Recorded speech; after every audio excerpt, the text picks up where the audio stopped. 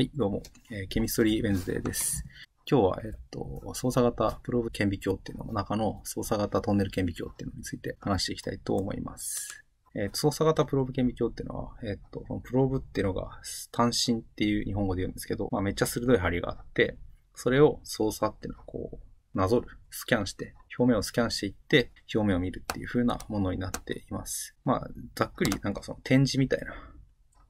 こう指でなぞって文字見ると思うんですけど、ああいう感じのイメージを持ってもらえると結構近いかなっていうふうに思います。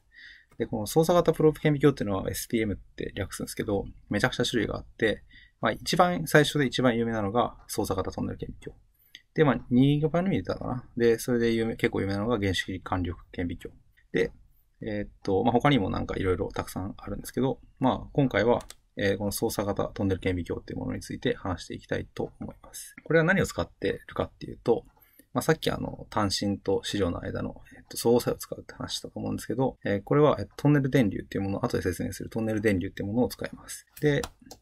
えー、まあ、この技術自体は1981年にできたもので、だいたい40年ぐらい前からあるものです。で、あの、当時かなり、えー、っと、インパクトがあって、開発されてから、えー、っと、5年後に、えー、っと、ノーベル物理学賞を速攻で取ってるっていう風な、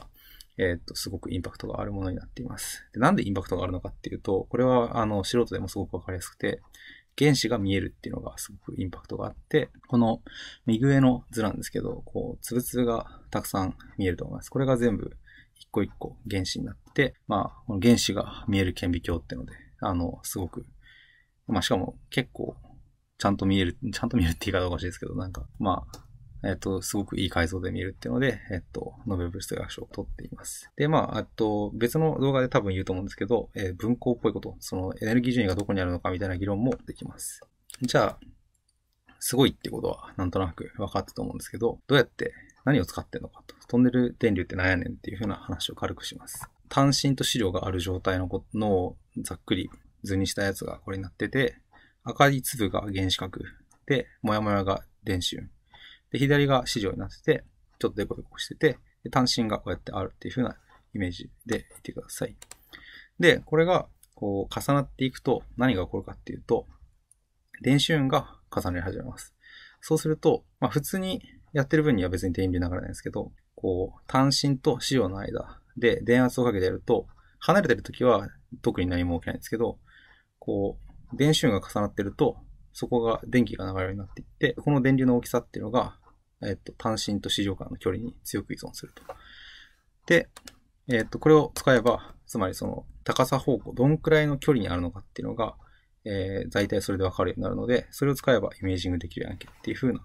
ざっくりそういう感じの内容になってます。で、まあ、それを操作していこうって話になるんですけど、あの、まあ、単身をこう、まず普通に思いつくのが横にべーっとこう引いていくというか、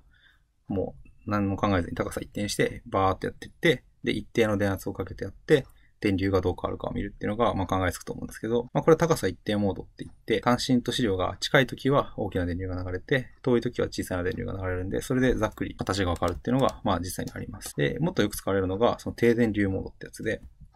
この針の高さを制御できて、まあ、後で話すんですけど、それを、つまり電流が一定、距離が一定になるように、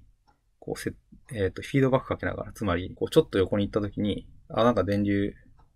大きくなったなと思ったら離したりとか、ちょっと横に行って電流小さくなったなと思ったら近づけたりとか、こう、ちょっとずつこう、やりながら、えっ、ー、と、なぞっていくっていうのがあって、それで像を得るっていうのが、まあ一般的です。で、まあ、いくつか、そうですね。まとめると、電圧をかけながら近づけていくと、電子運が重なったところで電流が流れて、それが距離にめっちゃ依存するので、それを使ってこうなぞっていけば形がわかるって話なんですけど、まあ、えっと、普通に考えて、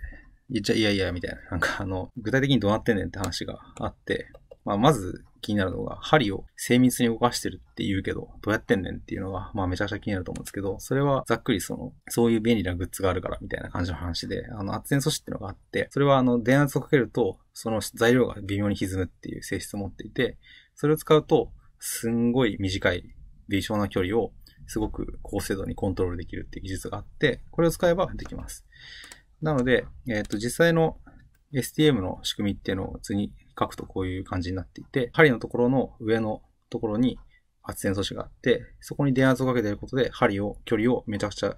頑張ってえっ、と、微小な距離をこう、コントロールしていて、まあ、同時にその針と資料の間で、えっ、と、とん、えー、バイアス電圧っていう電圧をかけて、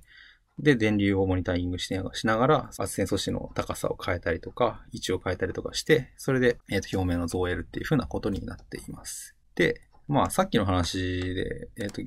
まあ気づいた方もいるかもしれないんですけど、この単芯ってのがめちゃくちゃ太かったら、例えば爪楊枝レベルの太さだったら当然原子とかは見えない。だから理想的にはその単芯の先っちょは原子1個レベルのすんごい細いやつが必要なんですけど、いやいや、みたいな、その針の先っちょが原子1個の針作れますよって言われても全然そんな簡単に作れるのみたいな話。に、そんな簡単に作れるのかな？みたいな話になると思うんですけど、まあそれが作れて、どうやるのかっていうと、結構、あの、普通に切るというか、ニッパーとかでバンと切って、あの、それで測ると結構見えるっていうのが知られてるらしくて、あ、そうなんだって感じとか、あと機械研磨でこう削ってやるとか、あと、あの、へえって思ったのが、この電気で溶かして切るって方法があるらしくて、なんか、いろいろ工夫がするらしいですけど、こう、溶液の中に突っ込んで、電気分解することによって、針を電極にしてやって、溶かし切るっていう風な方法もあるらしいです。まあ、そういう感じで、えっと、まとめると、SPM っていう操作型プローブ顕微鏡っていうのがあって、それは、えー、めっちゃ鋭い針を操作して、表面をなぞる顕微鏡で、で、その中でも STM って操作型トンネル顕微鏡っていうのがあって、これはトンネル電流っていうのを使う SPM の一種だと。で、このトンネル電流っていうのは、えっと、資料と単身の距離にめちゃくちゃ敏感に応答する。ので、えっと、電圧を一定にかけて、えー、操作してやれば、形がわかるよねってので、その操作の仕方が2種類あって、高さ一定モードと低電流モードがあると。で、圧電素子っていうのを使ってやると、この高さっていうのをすんごい精密に動かせてやって、で、えっ、と、超鋭い針が必要なんだけど、これは頑張れを作れるっていう風な感じになっています。まあ、そういう感じで、そうですね。僕測ったことなくて、一回ぐらい測りたいなとは思ってるんですけど、どうだろう。はい、そんな感じで、ちょっとサガットの駅見の説明でした。ありがとうございました。